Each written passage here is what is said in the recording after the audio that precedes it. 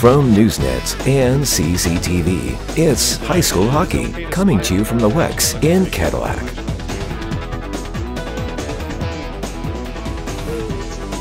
Welcome back, everybody, to the post-game show on Newsnet Sport and CCTV.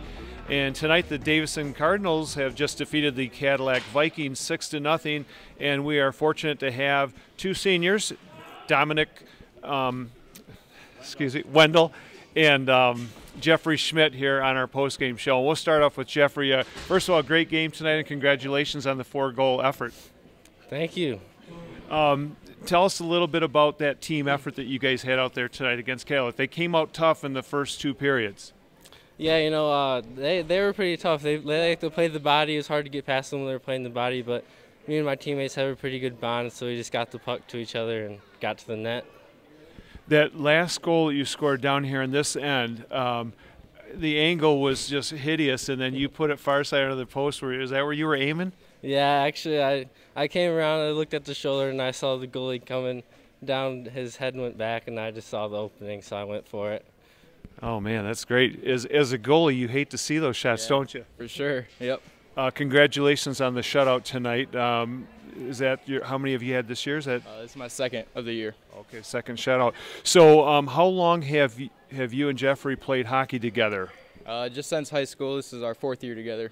Okay, so youth hockey, you guys did did you play against each other or even know each other Uh, before that? Yeah, we played against each other in a travel league in Lapeer. It was a lot of fun though. Okay.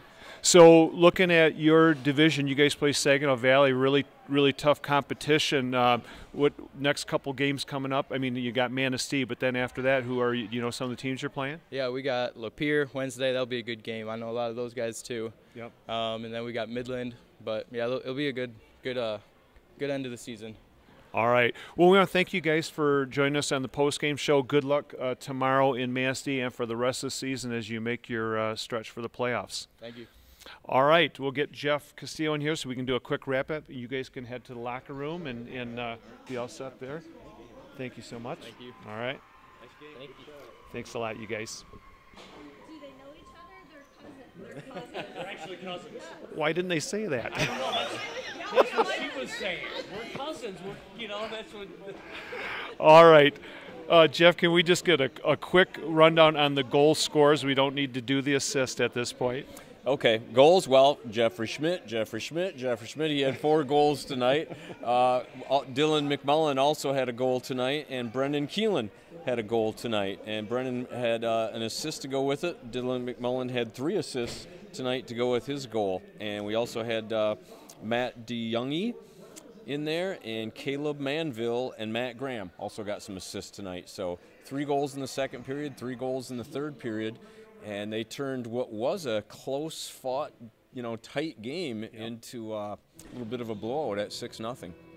And we have to mention uh, uh, the goaltender tonight, Dominic Wendell, had a good shutout, his second of the season. So we want to thank our crew tonight, uh, Damian Brooks and Caden Darrow, along with Hannah Crouch in the van, and our sponsors, Pizza Plus and Fox Sports or Fox Motors, and also Cadillac Tire.